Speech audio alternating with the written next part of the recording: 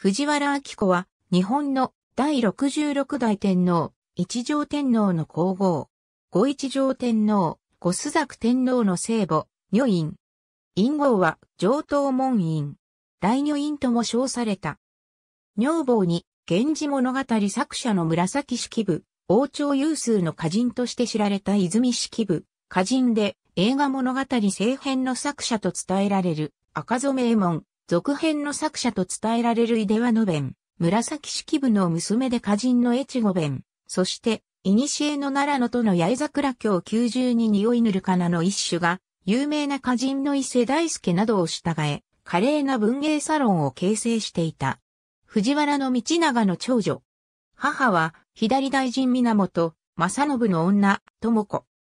同母テーマに、関白大乗大臣、頼道、道のり道と、三条天皇中宮の剣士、五一条天皇中宮の医師、五須作天皇引き師が、マタイ母帝には、右大臣、頼宗、剣大納言、吉信、道長家らがいる。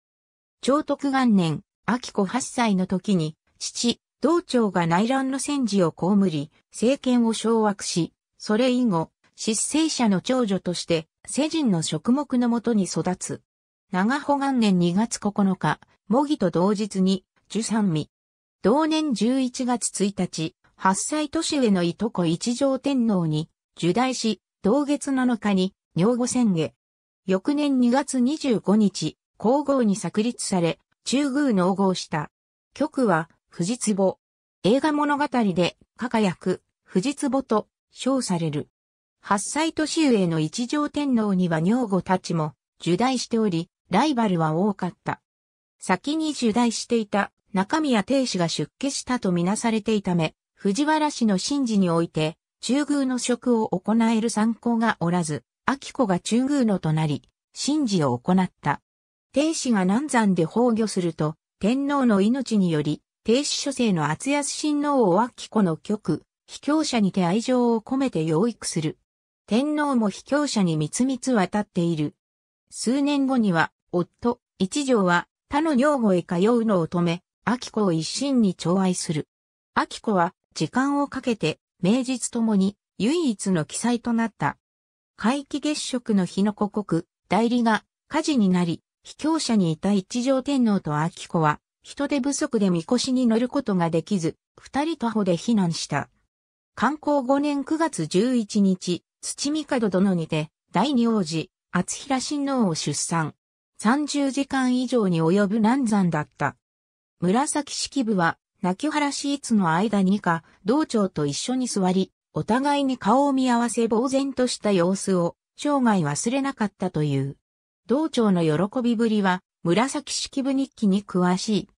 紫式部日記には、秋子の肌が透き通るように、美しく、髪もふさふさとして見事な様が記されている。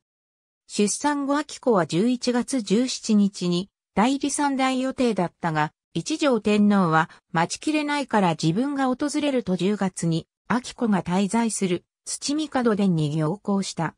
秋子が代理に戻ると、一条天皇はすぐ秋子の御座所に渡り、夜は秋子が天皇の夜大殿に登った。翌年、厚長親王が誕生。観光8年6月13日、死の床にあって一条天皇は皇太子、伊佐田親王に上位、秋子諸生の厚平親王の立大使が決定した。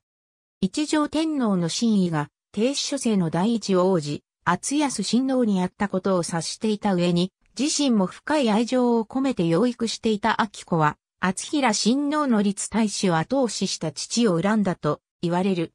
聡明で優しく、ライバルとされる中間白化にも贈り物など、礼儀や援助を欠かさず、生涯面倒を見た。映画を極めながら資料深く、健康と称された。一条天皇とは最後まで一緒におり、一条の時世の句は、秋子の傍らで読まれ、秋子が書き留めた。昭和元年2月14日に、皇太后、寛任2年正月7日に不皇太后となる。この間、昭和5年正月29日には厚平親王が即位し、道長は念願の摂政に就任した。翌年、道長は摂政、市長者を共に着し、頼道に譲り、出家して政界から身を引いた。なお、道長の摂政就任と退任の状況は、幼少の天皇ではなく、彼女宛てに出され、退任後の大乗大臣部任も、彼女の領事によって行われている。これは、天皇の一種の分身的存在である摂政の人事が天皇や摂政自身によって行われることは一種の矛盾を抱えていたからだと考えられている。道長の出家後、秋子は指導力に乏しい弟たちに変えて一門を統率し、頼道らと協力して、石棺政治を支えた。しかしこの後石棺家一族の姫は、受代すれども男児には恵まれないという不運が続いていく。万寿三年正月19日、落色し法名を正常格とする。同日、一条天皇母校で、彼女にとっては乳母で、義母でもあった東三条院、戦士の洗礼に倣って、オンライン号を賜り、上等門院を称した。後年、不動庁が建立した北条寺のうちに、東北院を建てて、晩年ここを在所としたため、別称を東北院とも言う。長元9年4月17日に、ご一条天皇、監督2年正月18日に、ご須作天皇が崩御し、10年の間に2人の子を失った。その後は、孫の五霊勢天皇が即位したが、その代に、息子諸実へ、関白職を譲りたい旨を頼道から聞かされた時、女官に髪を透かせていた秋子はにわかに機嫌を悪くし、代理へ、不動庁の異例に背くのでお許しにならぬようにとの旨を、相乗させ、ために頼道は弟の利道へ譲らざるを得なかったというエピソードがある。永正7年には重篤な病に陥るが、弟、頼道、則道らは、国母の病気平癒の願いを込めて、大社を創生し、これにより前年から始まっていた前9年の役が一時停戦となっている。